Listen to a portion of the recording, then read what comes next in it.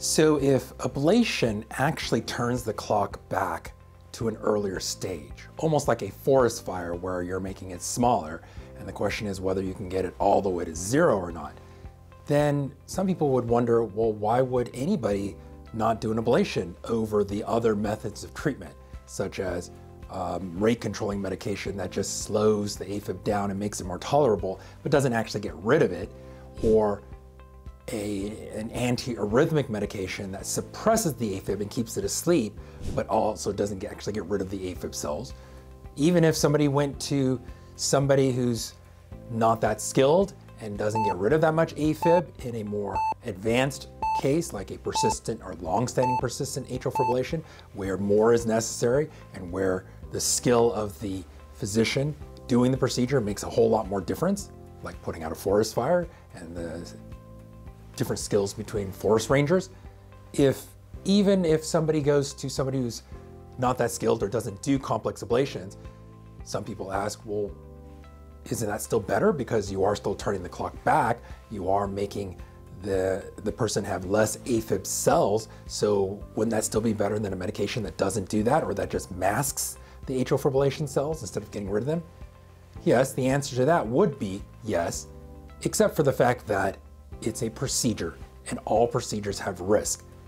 If the atrial fibrillation ablation, if the atrial fibrillation procedure had no risks or minimal risks, then yes, do it on everybody. Whether you get rid of a lot of it or just a little bit, it doesn't really matter. But because it does have risks, the risks of the procedure have to be weighed with the potential benefits you're hoping to get out of it.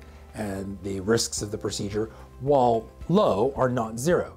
Usually for an otherwise healthy patient uh, who's under the age of 80, the risks include a small 1% chance of clots and uh, a small 1% chance of stroke or uh, damage to structures in the heart, such as the esophagus or certain other vessels uh, and nerves, or making a hole in the heart with potentially dangerous bleeding. That is always a potential risk because the wall thickness of the patient's heart does vary, and especially in complex ablations where one is uh, cauterizing on multiple walls of the heart. Some walls are thicker and some walls are thinner, and so there is always a small risk of making a hole in the heart with potentially dangerous bleeding. That's why this kind of procedure cannot be done at a small hospital that doesn't have cardiothoracic surgeons around doing their own procedures in case of a surgical emergency. But usually for most people, the overall risk of the procedure is 1% to 2% or less. However, when one does get into their 80s and 90s, the risk of all procedures, including the risk of general anesthesia, which this procedure is done under, do go up.